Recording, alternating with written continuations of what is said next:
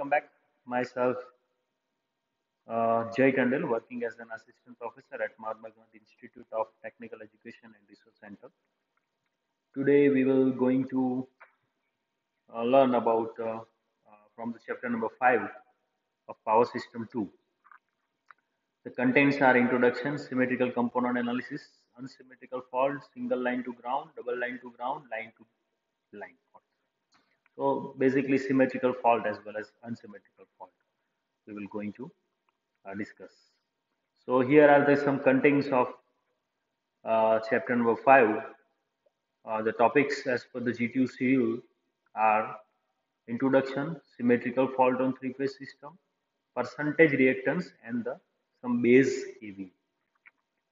Now introduction, uh, before start the different type of fault on the power system, we need to understand what is a basic fault like short circuit and single line to ground fault.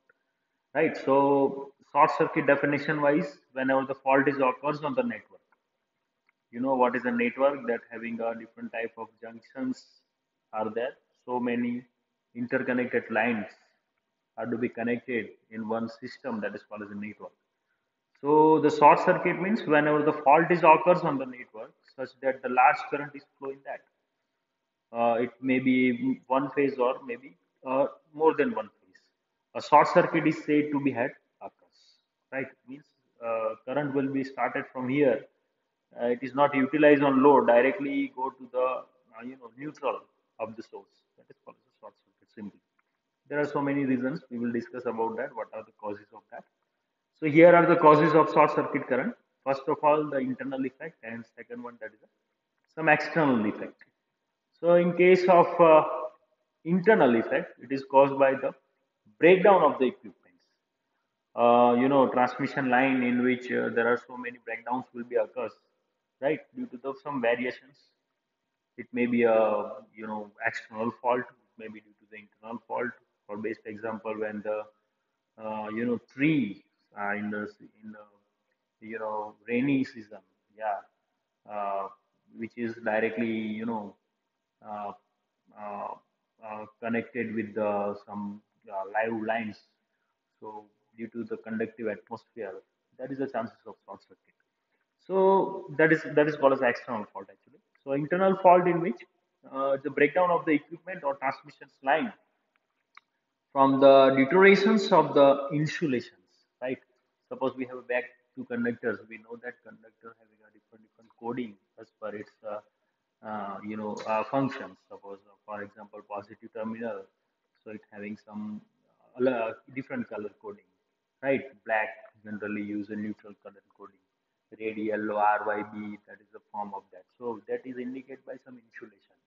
So there is some reason due to which uh, it will be the insulation is puncture in short we can say. So in that condition we can say short circuit will be occurs that is a called as an internal fault or it is called as a internal effects. So example is such as the troubles may be due to the edgings of the insulation, inadequate designs or improper installations. Now, external effect, as I told you earlier, the best example of external effect when the trees on the rainy season are connected with the cable, it may be due to the conductive atmosphere, maybe a short circuit. So it causes a short circuit, which is included include insulation failure due to the lightning surge. That is a, one of the uh, causes of the short circuit. Overloading of the you know equipment causes the excessive heating. You know, short circuit means what? That is a some some kind of insulation that will be failed due to some some heating. Some I square R loss that will be increased in such a manner. I square R means uh, nothing but a heat. Square R into T, right? Heat power. So uh, these are the reasons mechanical damage, uh, any kind of that is a part of external. So this all this thing regarding to short circuit. Now effect of the short circuit. When short circuit is occurs, as, as I told you, current that uh, not going to through the load, it will be directly from source to source. So effect is short circuit. So when the short circuit is occurs, the current in the system is increased abnormally, right? If the my current my device is rated at uh, 10 ampere and current that will be through more than 10 ampere, like 15 ampere, 17 ampere. So uh, that is called as the abnormal value. high value. So ultimately it increases the system voltage. Uh, uh, system current is increased, it reduce the system voltage to the low value. So that will be, uh, uh, you know, effects of the one of the effects of short circuit. So short circuit causes the excessive heating, as I told you that, and the fire. It may be the explosions. So sometimes the short circuit is take from the arc and causes a considerable damage of the system. It, it will be if there is no isolation protection like fuse and uh, other MCB, we can say. So it is possible to uh, damage your entire system, right? Uh, second, that is a uh, third, that is a low voltage, which is uh, created by the fault, has a very harmful effect on the service uh, rendered by the power system. So if the voltages remain low, even a few seconds, that that is a that is for the very short time of period. It is uh, not not time of period like transient, but it is a very it is the fault that will be occurs for a very short time of period. So the in that short time of period, it may be possible to damage the motors by hitting whatever the windings of the even a fan having a winding that will be burned out. So the voltages remain low even a few seconds. The consumer uh, the uh, the motor may be shut down and uh, generator on the power system have become unstable. If, if, if there is a effect on load side, is definitely effect on load uh, source side. So these are some effects. Now short circuit current calculations. These are the some points that I describe over here, which is uh, through which you can calculate the short circuit current. The calculations of short circuit current having a you know following reasons. First, that is a short circuit on the power system is clear by the circuit breaker of fuse as I told you. It is necessary to know the maximum possible value of the short circuit. If, for example, I want to design a, uh, you know electric system of the room, then I must have to choose a circuit breaker and fuse. So whatever the rating of the fuse, that will be depend on which are the component which is run by that particular system, right? If suppose I have a two fan one having a some 60 watt, another having a 70 watt, right? These are the some ratings of that. So according to every every machines, every uh, fan, every electric equipment having a nameplate, so in which that mention the what is the maximum value of current, which is defined by the manufacturer, right?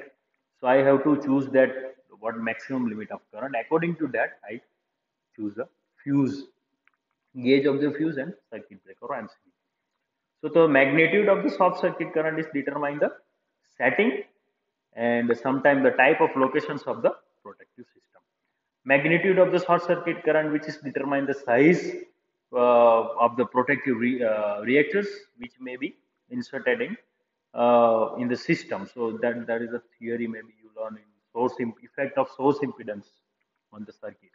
So that that, that we are connecting some series inductor with the sources to limit the current. Uh, so, and last one that is a calculation of short circuit current, which is enabled used to make the proper selection of associated apparatus. Suppose uh, uh, bus bar circuit uh, CT, we can say, which is uh, used to you know collect the current or uh, measure the current, right? So that every equipment which are which are which are based on some designing and designing requires some actual data of the system of the each and every equipment. So that we can withstand the forces that will arise is due to see we cannot uh, we can whether do uh, make a precautions of the short circuit right? That are the some of the options to reduce the short circuit effect but uh, the short circuit that will be occurs and whatever the effect of the entire system that can be neutralized with the proper arrangement. now fault in the power system. Basically two types of fault. First is a symmetrical fault, another is a another is a unsymmetrical faults. So what is a symmetrical fault? Triple line to ground fault that is a symmetrical fault. We can say that is the best example. An unsymmetrical fault means suppose I have a three phase system, my three line having a different different fault. One phase, uh, one uh, system having a single line to ground fault, other having a two line to line ground fault. Or the other fault is the one line and third line is short circuited that may be possible so symmetrical fault means each and every phase having the same fault that is called as a symmetrical fault that is the best example is triple line to ground So the fault which give the rise to the symmetrical fault current equals the fault current with 120 degree. Why 120 degree displacement? Our system having a one cycle is 360. So divided by 3 that is a 120. So it's called as a symmetrical fault. So uh, three conductor as I told you triple line to ground means three conductor with ground. That is the fault that is called as a symmetrical fault. So three conductor of the three line are brought together simultaneously into the short circuit condition. That is called symmetrical fault. Unsymmetrical fault base example is every line having a different fault, single line to ground fault, line to line fault, double line to ground fault. Right? These are the fault that is called the unsymmetrical fault. So the, those fault which give to the unsymmetrical current, uh, unequal current, each and every phases are called as a unsymmetrical. So short circuit are the uh, one of the line to ground faults. That is a common. So common fault is single line to ground fault. Okay, now uh, symmetrical fault on a three-phase system. See, you can see over here there are three lines R, Y, and B. That's why it is voltage is VR, VY, and VB. It's having a current is IR, IY, and IB, which is a, at particular point which is some uh, which is connected at particular point for understanding the fault only. There is not actual system that will be like that. It is for an understanding purpose. So what is called short circuit when three all the phases are at point one point connected at one point that is called a short circuit fault. So if the fault on the power system which give rise to the symmetrical fault current equal fault current in the line with 120 displacement is called as a symmetrical fault. Symmetrical fault rarely occurs in practice, as I told you. Uh, the symmetrical fault is most several opposes the more heavy duty on the circuit breaker. You know that's why circuit breakers as a device is, is break the circuit during the abnormal conditions. So if the circuit breaker is continuously measures the current uh, from each and every phases with the help of CT, we can say current transformer. So CT is measuring that if suppose it is rated for 10 ampere and suppose there is a 11 ampere current that will flow circuit breaker is quickly respond to the relay. Relay told the circuit breaker actually ct is respond. Ct told relay to have to turn off the circuit breakers so relays gave the command to the circuit breaker and terminal of the circuit breaker that will be open. So these are the some uh, steps for symmetrical fault now limitations of the fault is that if the fault that will be you know occurs on the outside of the transformer, you can see over here generator, transformer, and some fault point F. So when the short circuit is off uh, occurs at any point of the system, the short circuit is limited by the impedance. That is the theory that will be introduced effect of source impedance on the system. That is most important. So uh, these are the theory that is based on that. Maybe you know about that. I no need to explain what is the source of impedance which is connected in the source with that. So the knowledge of impedance of the various equipment and the circuit in the line of the system is very important, which is determine the short circuit calculation. Now, short circuit calculation having an effect of percentage reactance because reactance having a some role, right? So if you know the reactance, you can find the short circuit. So simple equations of reactance is percentage X is equal to Ix divided by V into 100 in which I that is indicate the full load current, V that is indicate the phase voltage and X is the reactance in ohm per phase. Each phase having a X, right? That X. If suppose the system is three phase, then that is 3Ix by V into 100. Now the percentage reactance is also expressed in terms of kVA, kilowatt ampere. You know, transformer is always rated in kVA, that is kilowatt ampere, right? Volt ampere that both. It is not rated on kilowatt like uh, every machine is rated, right?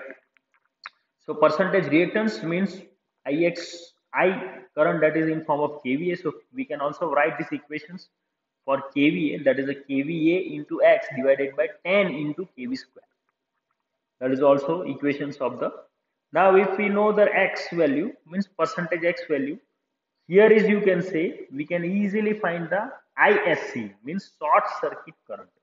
So all this thing for what? To finding the value of short circuit current. So ISC is divided by V by X. X that is you can find the percentage X form. So you can also write short circuit current is equal to current into multiply by 100 by percentage X. Right? Uh, so this this value can be uh, put from here right? So short circuit calculations. So i that is nothing but v by r actually but in ac system v by x right? So that is the reason of that. This uh, v that is uh, v by x that will be we can say putting the value of x from the expression 1 so we know that ix by v into 100 right? So simply put the value of 100 by percentage x instead of ix by uh, v by x so we can get these equations very easily. So short circuit current is obtained multiplying the full load current by 100% divided by percentage x. So now the conclusion for the instant, if the percentage reactance of the elements is 20, then the full load current is 50 ampere. So short circuit current will be from the above equation, we can easily find if your percentage reactance value is 20%, so divided by 20%, that is 100 current is over here which is 50 amperes so we can write 50 into 100 by 100 by 20 100 by 20 so 50 right? So these are the lectures these are the lectures for how to calculate the short circuit current. From the next we will discuss uh, uh, examples detailed examples of short circuit and different type of faults. So it may be worth to write that mentions here advantage by using a percentage reactant instead of ohmic reactance. See, reactance unit is always in form of, yeah, ohm. It is similar to resistance. Not similar to resistance, but the units are same for both. So the value remain unchanged and they are referred through the transformer, unlike the ohmic uh, reactance, which become a multi uh, or divided by the you know square of the turns ratio that is n2 by n2 this make the uh, procedure simple and permit quick calculations. Thank you